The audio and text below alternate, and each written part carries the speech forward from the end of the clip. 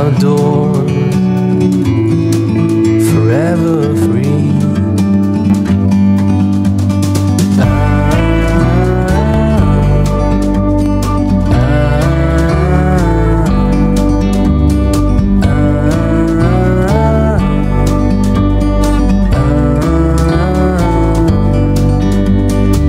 everyone. This is uh, day two, I guess, of um, the swing away install. I haven't uh, spent, you know, full days on it, but um, yeah, back at it this morning. So I'll just spin the camera around and we'll just run through what I got up to yesterday. So uh, I cut the um, the jerry can holders off this um, passenger side arm because I'm going to weld, you know, a new bracket on there for um, the outboard motor mount. Kaymar don't sort of supply one like that, so I'm just going to make my own. These all went together pretty good. The locks are super tight. I'm not sure, um, you know, if we can adjust them in the future. But uh, as I went through, these ended up being the same height, which is good. Um, maybe just this one can come up a little bit. Yeah, ground that little bracket out as we spoke about, and everything seems to be going along right. One thing that I didn't do is um, these little spaces, they go in behind the catch, um, which brings these arms out a bit further from the body. Um, there's a, a, good bit of space in there, but I'm not sure how much it's supposed to have, but there's easy 30, 40 mil in there, probably maybe 30 mil. Doesn't look like it on the camera, but there probably is. Um, spacing off the uh, the tailgate there, which if you put this in there to bring it out even further. So I think probably at a stage where I'll pull the um, the arms off and just double check all these are tight, these as well, and I'll get onto the um, the bumper bar marking it um, for the, the cutouts around the reflectors.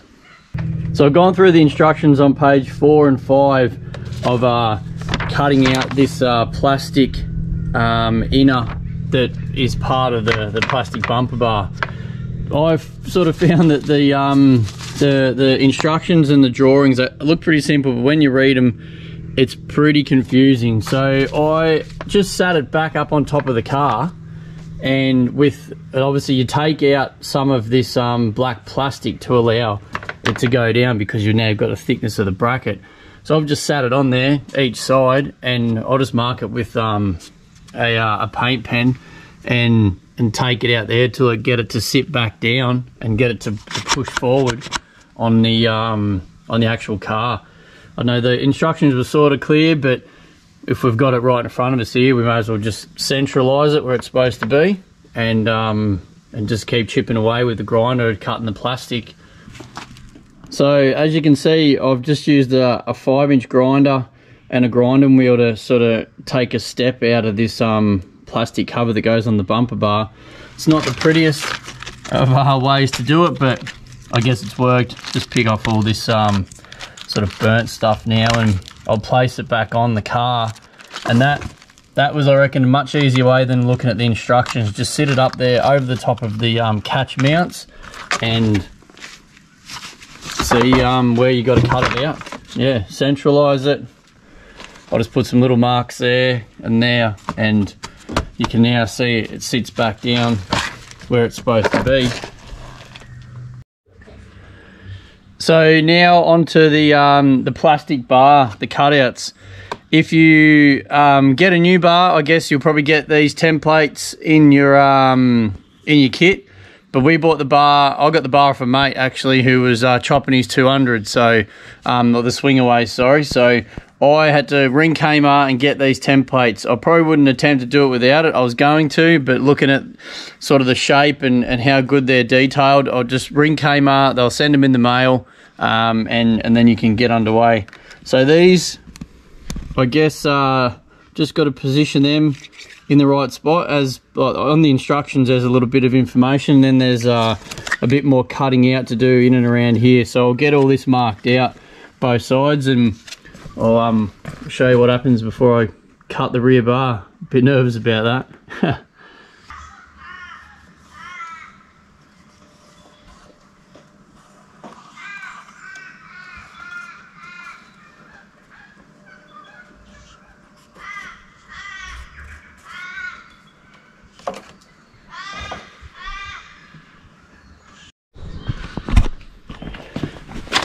This is uh, the passenger side. I just sat the uh, the template hard down on the bottom here, and it seemed to to follow shape pretty good.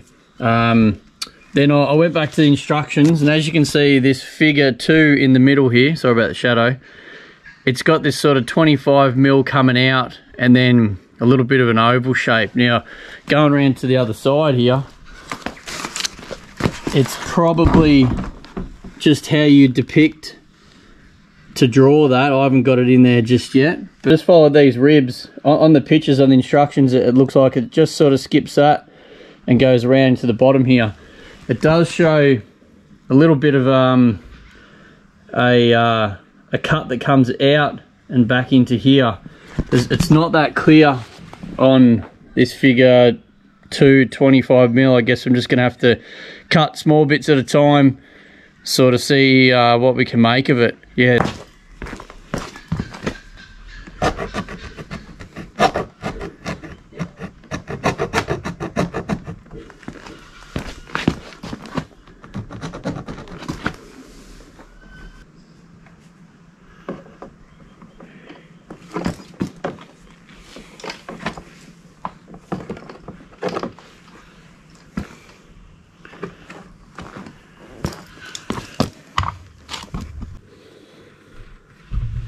So as you might be able to see in the background there, um, I've started, well, almost finished this, um, the driver's side.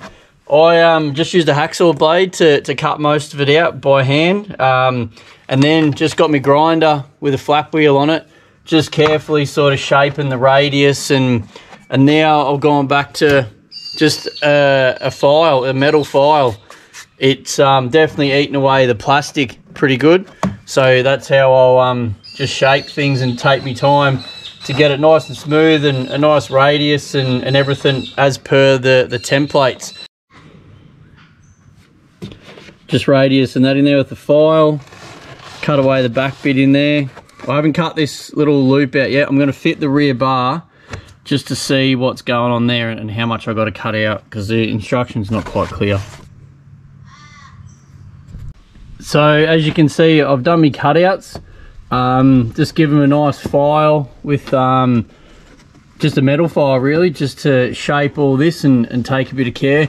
I haven't um, done this 25 mil hollow out yet. I'm just gonna put it on and wait and see what's um, what's required there, whether it's access to get the um, the swingaways in down onto the brackets. Um, so yeah, got them cut out, pretty nice. So now we'll um, we'll fit the bar back on. I've retightened everything, double checked all these nuts and bolts behind here, and we'll uh, see how it goes.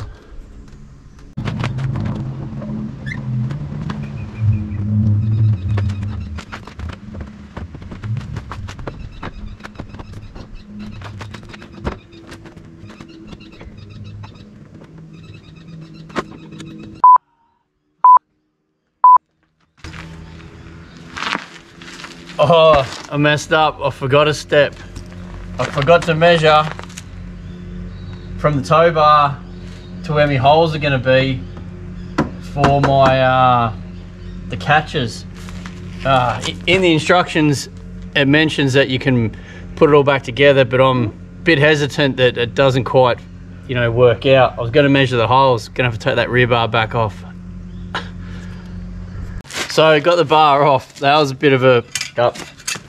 Um, I wanted to get a measurement from from the uh, the tow bar as that sticks through to these holes, like left and right, and try and get a bit of a height.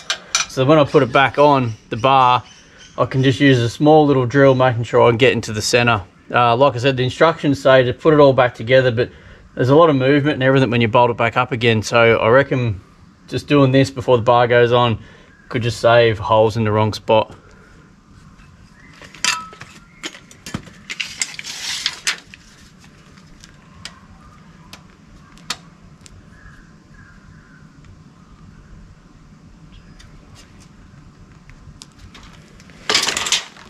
So I got the measurements. There's actually 10 mil difference between each side. I don't know why. Um, as the, the latches, as you've seen when I had the swingaways on, the, the locks work really good. Maybe because One's one was a spare wheel carrier, and one and the other one was jerry can holders. Maybe the locks were in different spot on the arms. I'm not sure, but yeah, that's why I wanted to get measurements because uh, it could be different. So I managed to get this um, driver's side one in on my own. A little bit of a, a twisty sort of mission to get it in down through the bar, but I've worked out now why um, you know there's that 25 mil sort of scallop out. It's for the stub, uh, you know, the stub axle piece that that swings the actual swing away. I've got one bolt in it down the bottom, but it's putting a bit of pressure on that bar there, so I've sort of marked it with a texter.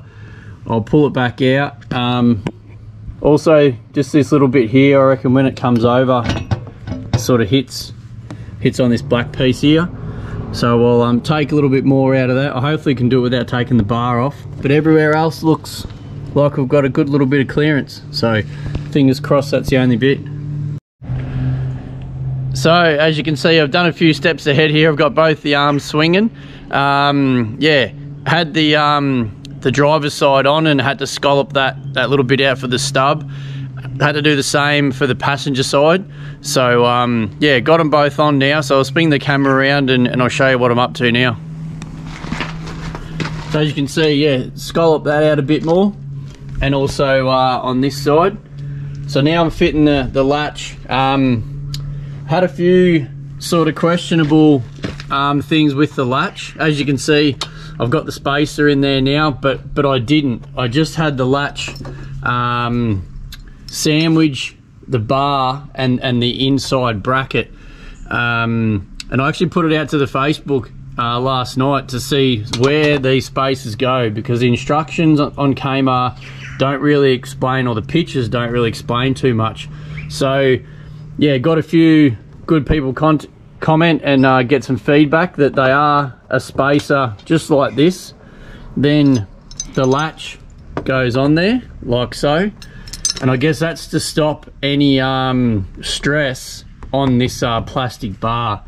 It, it will just sort of float where it is. As you can see, it's quite flush anyways uh, from the, the rear bracket. So that'll, I guess, yeah, stop any major stress going on this plastic and cracking it um, with um, with the two bits of steel touching. So I'll, as you can see, I drilled some holes. So now I've got to sort of use a Dremel bit and I'll, I'll open these holes up a bit. It's taking a bit of time, but I think um, in the end, it'll be um, it'll be a good thing. Yeah, with the latch, that'll just sort of go straight on over there it'll tighten on itself, steel on steel, and then this plastic bar will just um, sort of be floating in between. So we're all back together. I've pretty much um, completed, I guess, the, the swing away install. Um, the passenger side one, it's still, um, you know, it still's been cut up because I'm going to do an outboard um, motor mount. So I might just save that for another video. There's, it's probably this video is going to be way too long anyways. So um, yeah, I'll just take you around these um, these latch like the locks that I put the spacers in. I've put the uh, little um, gas struts as well that, that hold the arms from going in and out. So yeah, I'll just spin this camera around. Oh, I don't worry about that wire. That's going to be for me um, solar in to the, the battery setup. I'm going to drill and tap that there. So I've got these on. They're pretty standard fitment.